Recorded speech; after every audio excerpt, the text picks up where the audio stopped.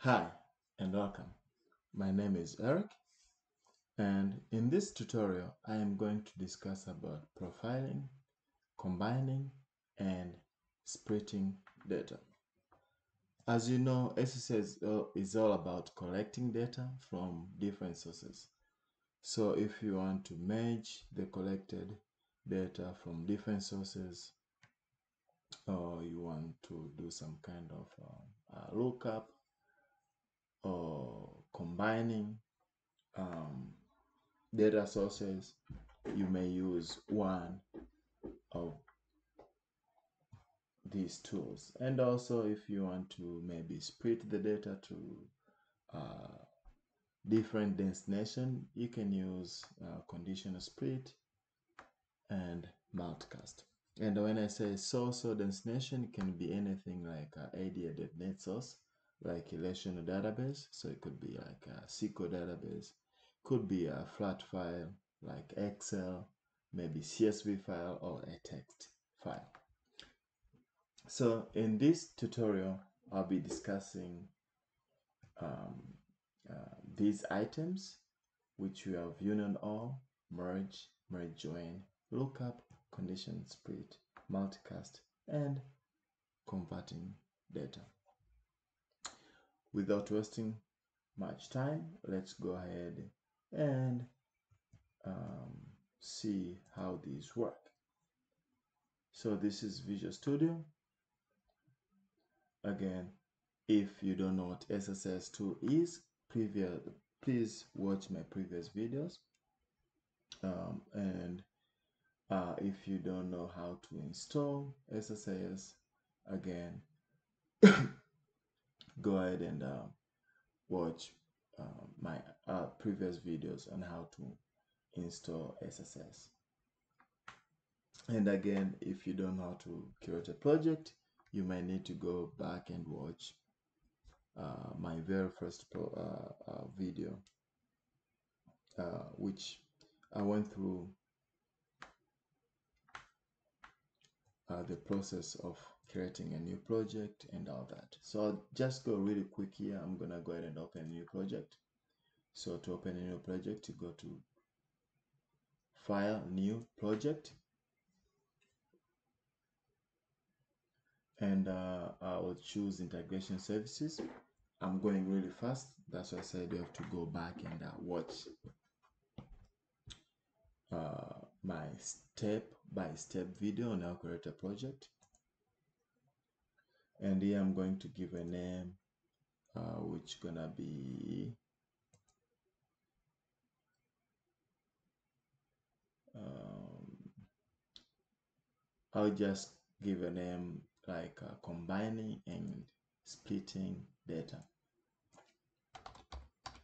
So this will be combine, combining and splitting data. And then I'll change the location here real quick.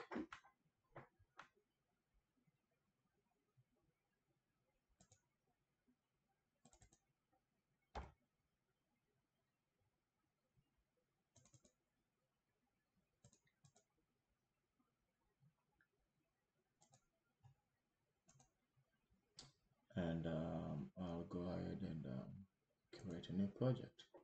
So depending on how fast your computer is, it will create a new project. And now I do have my IDE.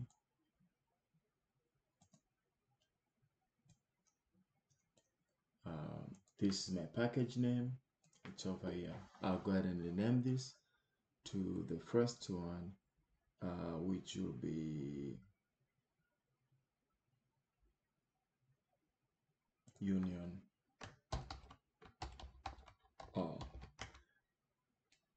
again if you don't know how to do that please watch my previous videos.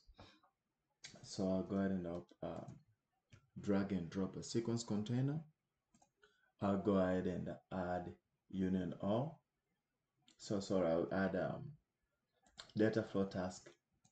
And uh, you can go ahead and give it a, um, a name. I'm not gonna give it a name for now. Oh I'll just say uh, I'll give a name right click and rename and I'll say combine multiple sources. Double click on it go inside data flow and in here uh, what we are going to do is we're going to combine data to from multiple sources okay. So um, first of all let's go ahead and see the definition of union all let's understand this and then I'll show you where uh, we'll be getting data from. I did purposely that I didn't write any definition on my PowerPoint so that I can show you guys how to get that information. So if you click on it, the information of the definition will be given somewhere here. And uh, for union all, it combines rows from multiple data sources without sorting. And you're gonna see if you, uh, sorting is important. For example, add rows back to a data flow after correction of errors. If sorting is important, we recommend using merge. And you're gonna see the difference between these two. Okay, and if you click sample, find samples, you get more information um, about union all. So technically what this does is it combines data from multiple sources. And uh, um, first we're gonna have data from one of the databases and uh, this database here is office supplies so if you take a look we do have uh, one table which is customers.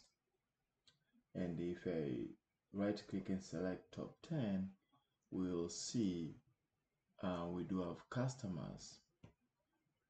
Here there are 11 of them.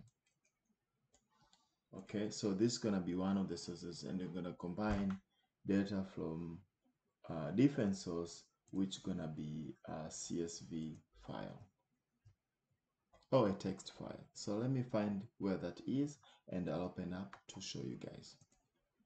I already found the file. So this is the file. The file name is customers.txt so this is a flat file.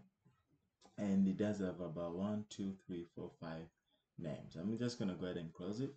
So we'll be combining a flat file and as well as um, um, relation database. Uh, this information is coming from a table named customers. And we'll be using union all to combine the results. Let's go back to our environment. So within data flow, uh, first I need uh, OLE DB source so I'm gonna go to other sources and I'll put OLE DB here and I'll give this information about I'll just rename this to get customers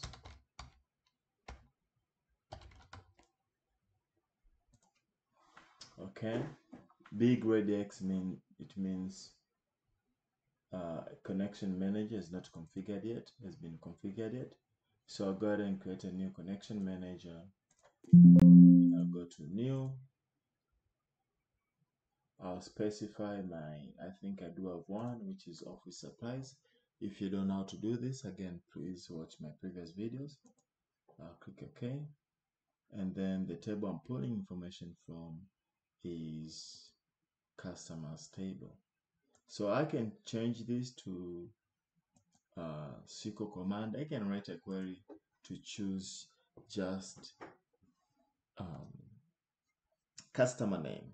Okay, you can write a query, but my assumption is uh, we don't have uh, access to the source data, so we're gonna bring everything from that table. And under columns, I'll go ahead and choose the columns I'm interested in. Uh, the column I'm interested in is customer names and the output is customer name. You can change this output to whatever you want, but I'm just gonna leave as is.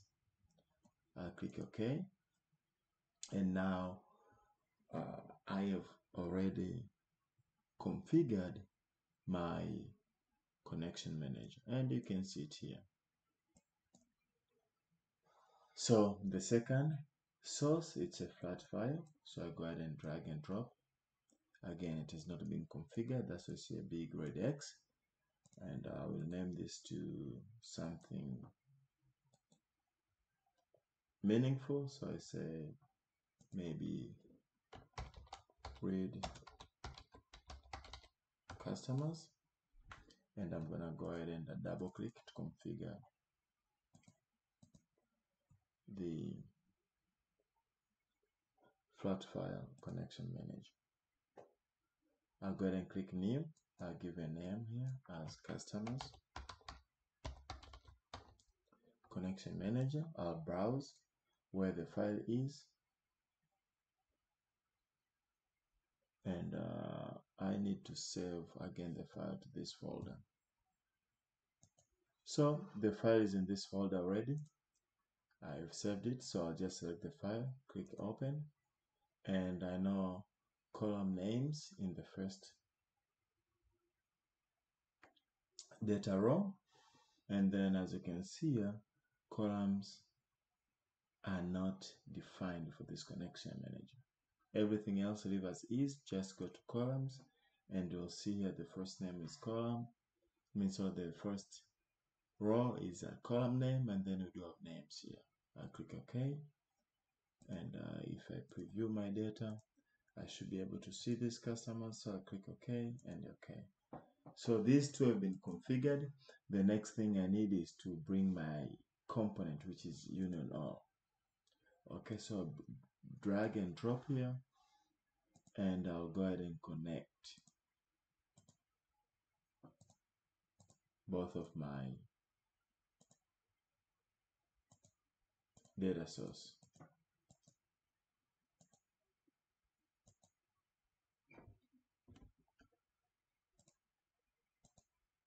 Okay, so they're both connected. For the training purposes, I'm not gonna go ahead and uh, insert the records to the destination, which is database, but you may need to create a table here um, um, um, to your data warehouse or to your destination um, to insert the records or maybe in a file, a flat file. Uh, what I'm gonna do here, I'll go ahead and add the library column. I'll go ahead and connect this and then I'll go ahead and configure the data flow here. I'll just uh, enable data viewer so that we can preview our data. Okay, so I do have um, data viewer here and uh, all I need now is to really execute my query and as you can see again we do have about 11 and we do have about five customer names. So we're expecting to see 16 here. And you can take a screenshot here to confirm the same file or it has been inserted or you can write down the names so that we can confirm that um, our union all is doing uh, what it's supposed to do. I'll close this file. I'll go ahead and execute my package. So I just right click and I'll say execute package.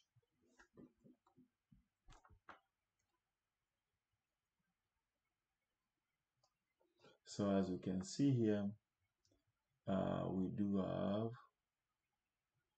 just name from the uh, uh, uh, uh, customers table. And um, you can take a look here closely that we do have 11 rows and we do have 5 rows. And the output is just 11 rows. And if you take a look these are coming from our customer table. Right? You can take a look here real quick so there is an issue with the flat file and uh, uh, what I need to do is to troubleshoot and uh, see what's going on. So I'm just going gonna go ahead and stop my debugging mode here and then I'll go inside union all. So I'll just go ahead and double click on it. Or you can right click and click edit. And as you can see here we do have output which is customer name right? But uh, input one uh, you bring customer name and input two it chose to ignore we chose to ignore. All we need is to change these to name and I think it didn't do this automatically because the names are different. But now I said uh, union all input one union all input two not ignore. So I'm just gonna go ahead and click OK and let's see if that has fixed the issue. So go ahead and uh, right click and run execute.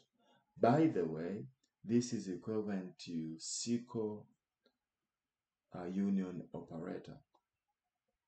Okay? So if you don't know about what SQL union operator is please watch my other videos and I can include the link um, of the video on on this video. So now if you take a look we do have 16 records and here we do have also 16 records. So our package has been successful. I just go ahead and execute it. And uh, as you can see it's all green. So uh, I'll stop here for now. And um, in this video I'll show you guys how to use union all. And that's all you need. So um, the, my next video I'll talk about merge. And um, what's the difference between these two? Okay um, the biggest difference here is merge accept only uh, what you say only sorted input. And we're gonna see how we're gonna sort that. And the other difference is union all um, it accepts more than you two uh, inputs. Merge you can not merge more than two inputs. That's the the difference. That's the major difference between these two. Union all accepts as many as inputs you want so it's more than two where merge accepts only two inputs. Okay? And uh, uh, I'll show you what an input is but it's a data source. And the other difference is uh, merge doesn't have uh, but we're gonna get to that uh, when you go to merge but again merge also accept only I'm gonna pause this video only sorted records. And I can see here you can see combines from multiple sorted data flows into one sorted data flow. But uh, I don't want to speak too much. I don't want to prolong this video. So I'll stop here meet me on my next video where I'll talk about merge into details. Thank you very much. Talk to you guys soon. Peace